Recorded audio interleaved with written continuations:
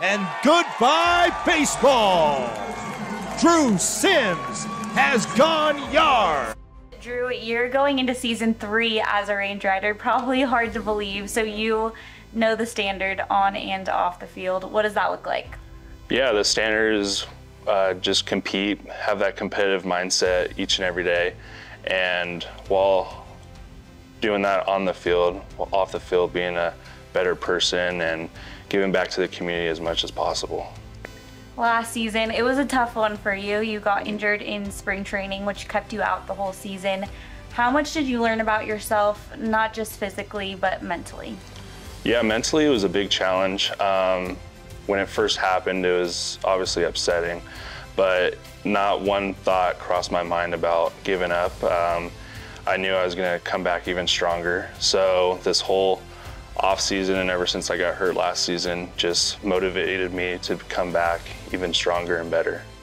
That mindset you discovered during last season, do you think it's going to turn into the season and have some effect? Yeah, absolutely. I uh, was able to grow like with myself, and my mindset, stuff like that. Um, was able to get that time off where I was able to learn more about the mental game of baseball versus the physical game. So throughout my career, there's a bunch, there's always been adversity. So this hasn't knocked me down. Swung on, hit hard to left field. It will get down, one hop the wall. Obviously, you want to win this season, but what else do you want?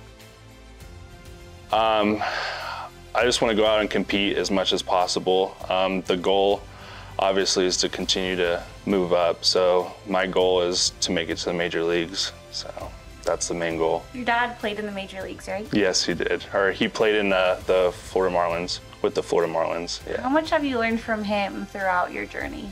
I've learned a lot. Um, he's my role model when it comes to catching and he he taught me everything. Everyone describes you as humble and such a good person. I would ask where does that come from, but I feel like I should ask who does that come from?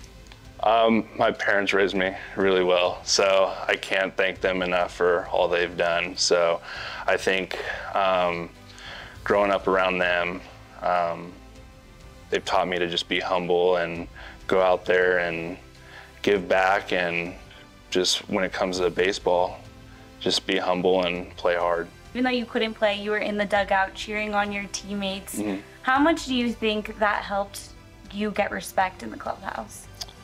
Um, I would. I hope it did, did get get some respect. Um, but I, I'm just a big team guy. So any way I could uh, help the, these guys win, even though I wasn't on the field, um, I care about all, each and every one of my teammates. But being a good teammate, it's going to show um, on the field as well, like because you're learning yourself. You are very involved in this community. Yeah. I think all the fans love you. You weren't even in the game last year, yeah. but somehow they still love you. Yeah. So how excited are you to be back in Glacier Bank Park this season? I'm super excited. Yeah, I I miss the fans. I miss playing baseball, so I'm excited to get back out on the field.